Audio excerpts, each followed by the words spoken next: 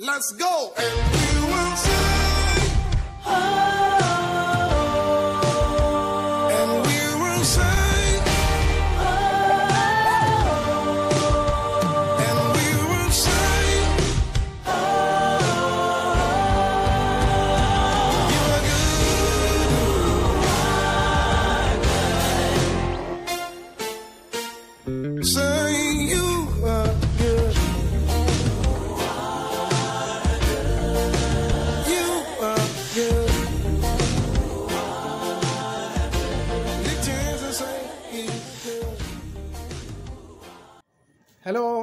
This is your Life-Buoy. Today, I'm enjoying this season of Christmas because so many lights all around. That's just the way it is with Christ, the light of the world. Today is Tuesday, the sixth day of December 2022. We are reading from the Gospel according to St. Mark today in chapter 12, and our reading will be from the 35th verse because we want to learn about wholehearted giving. If you're set, let's go very quickly. As Jesus taught in the temple, he said, How can the scribes say that the Christ is the son of David? David himself inspired by the Holy Spirit, declared, The Lord said to my Lord, Sit on my right hand till I put thy enemies under thy feet. David himself calls him Lord, so how is he his son? And the great throng heard him gladly. And in his teaching, he said, Beware of the scribes who like to go about in long robes to have salutations in the markets and the best seats in the synagogues and the places of honor at feasts, who devour widows' houses and for a pretense make long prayers. They will receive the greater condemnation. And he sat down opposite the treasury and watched the multitude putting money into the treasury. Many rich people put in large sums, and a poor widow came in, put in two copper coins, which make a penny.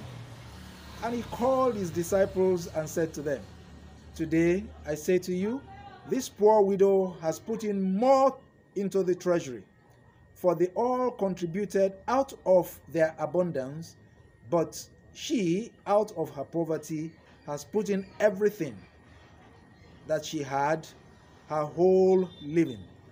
This is the gospel of Christ. Praise to Christ, our Lord. You are familiar with this story. The story of the widow who gave the mite all that she had. And you can compare that with the story of so many other people mentioned in that same story that we read just now that gave a lot more than that woman gave, but just a little portion of what they had.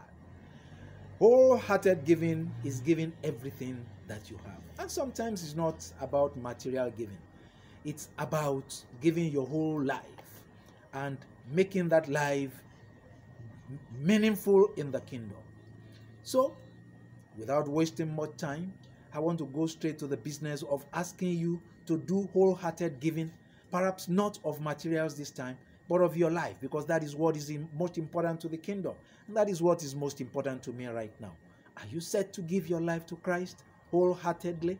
And not that today you are in church, tomorrow you are out there doing all kinds of funny things. I don't want to start mentioning gambling, drinking, uh, alcohol, being with women, and all that. Wholehearted giving is giving your life entirely. And if it has to do with materials too, give not because you want to show the world that you are giving. Give because it's coming from your heart, and that becomes real, wholehearted giving. But let me go back to the real business that I'm all about, and that is getting more people to wholeheartedly come into the kingdom. If you are set for that business with me right now, just say this prayer.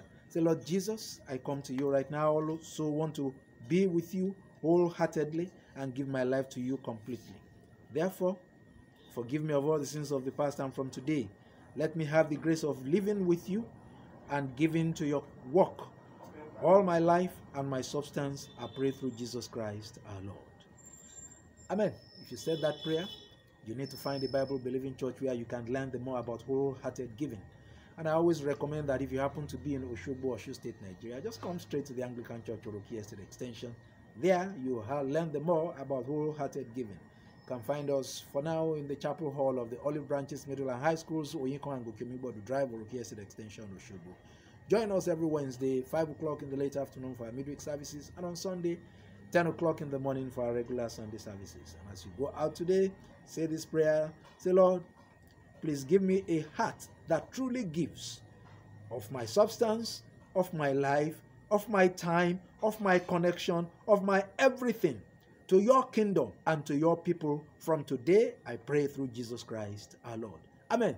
So go out today recognize what wholehearted giving is all about. Give of all that you can give to the Lord and His kingdom, and you will be shocked what will come back to you. Because all He asks of you in Matthew 6 33 is that you seek first the kingdom and give to it, and so many other things will be added unto you. That will be your portion, I pray, in Jesus' name. Amen. God bless you.